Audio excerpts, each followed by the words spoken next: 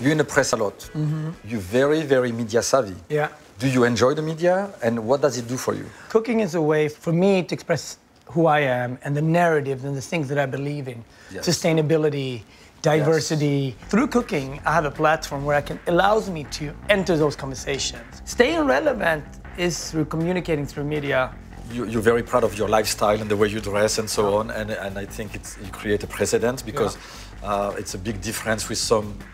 Some of our colleagues. I, don't, I didn't know how to end up the phrase, but anyway, yes. He's a dandy, he knows how to dress very well.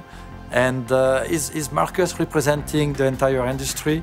No, I think Marcus is Marcus. I feel that deeply inside, you, you, you want to be a role model. Absolutely. Cooking is really a blue collar craftsmanship with some gracefulness, almost of a dancer. You know, we have to do all of those things to Yes. land on a dish like this. Yes. But we also have to inspire, and we have to inspire people in a way where people can meet us today.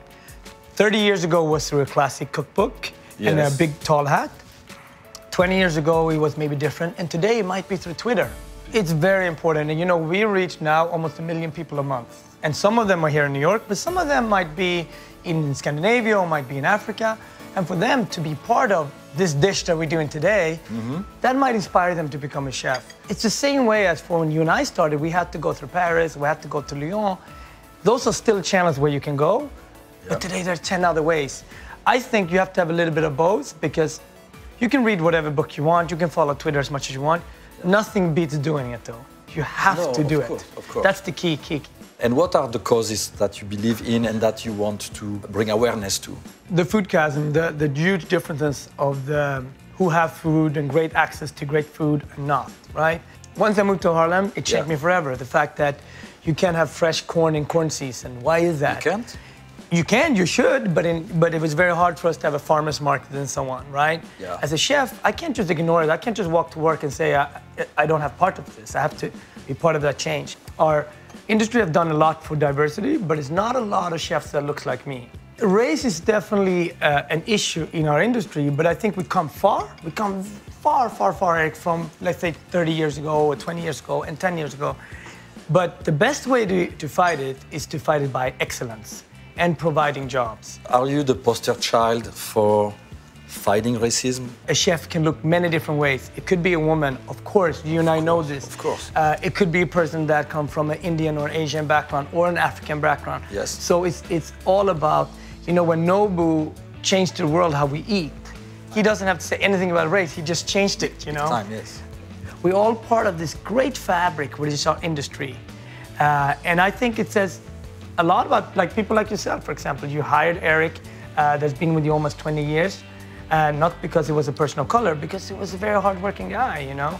And now he opened the door for other people. He's a great human being, talented chef. Yes. And I care less about anything else. Anything else. We can talk as much as we want as chefs, but without the other side, the customers. So I'm very grateful that people are listening. And I always tell to my staff, like, if we do good stuff, people's going to continue to listen. If we're not going to respect them and not evolve, lights out. Of course. What's the ultimate goal? I mean, I'm very curious to find out what Marcus Samuelsson Yeah. wants to do with everything that he has created. I don't believe in, in 10 years we're going to do this. I believe in today, I have to enjoy my day, day to day. It's very, very important that we take inspiration from day to day because we're not going to get to that rainbow if we don't enjoy day to day, right? Okay. So that's part of it. First, we have to, on a day to day basis, we have to be passionate and have to love what we're doing every day. Long term, if I could be part of introducing a better way for us to eat, not just with people that have a lot of money, but people who have lesser economy, I would take a lot of pride in that. Well, you are already part of it. Yeah, we're part of the beginning of that, and I think we can do more. And if I inspire people, whether they come to the blog, or whether they come to the restaurant, or whether they come and buy a book, it do, it's not that important to me. It's more important that we leave the next generation better off with better food option Yes. than our generation. And So that will be your legacy yes, uh, from the heart. from the heart. What is the vision for, for Marcus as a savvy businessman? In many ways, we can create our own traffic. So we now the restaurant, we don't have to chase the best corner anymore because we can actually bring our business to a part of town that is not that busy. But when it comes to Food Republic, Can you explain what is Food Republic? well, Food Republic is really a website that I started about a year and a half ago. That was a, a website more geared towards men and cooking and lifestyle. Uh, we have about half a million people coming every month. But I really believe that when guys enter the kitchen, we do it a little bit differently. We want a new knife. We want to talk about how strong the stove is, Yeah. how this apron is cost $300 and it's really nice when I'm going to have $300? Well, where do you buy your aprons? Yeah. It's just lifestyle. It's just fun. Give people good content. When they have the next dinner party, they can go on Food Republic. They find recipes that fits us. What you want to do is to have a, uh, basically that site, make it a success, Yes. monetize from Yes. it, and then you want to open more restaurants, Yeah. and then retire, or, n- or never retire. The way you, when you see uh, Jacques Pépin and the way you see Andre Soltner, for example, Those guys will never stop. and they're just happy. Yeah. When you see, when I see Jacques in, in Aspen, he always tells me, "Oh, I was just on the cruise line line yesterday, Marcus, and I'm gonna go here," and like just smile, just happy. We know how hard they work. It's no miracle. You cannot My be like knows. uh, Yeah, yeah, yeah, relaxing yeah. all day long, and, No, and things not. happen. You know that, and I know that. Yes. To be a four-star chef, uh, it takes an enormous drive, and at the same time, what you do very good, you embrace the light cooking way before your colleagues, and also this, what you're doing here. This is great. This is new media. This is fun. I mean, this is a trick to learn from my guest. I'm stealing ideas from everyone. I, I get you hammered on the, on the, on the cocktail and the beer. yeah, yeah. After that, we brainstorm. And uh, yeah, we're going to have a new model soon. But I'm so happy So- to be here. No, thank you. Thank you for having me. No, thank you for coming. I mean, I'm, I'm delighted that you came here and, and you share the mystery of, of the mind of Marcus. I yeah. would love to have your autograph on this board. Oh, of course. So let's go. Absolutely. Okay, so let's go sign. This is for you. beautiful.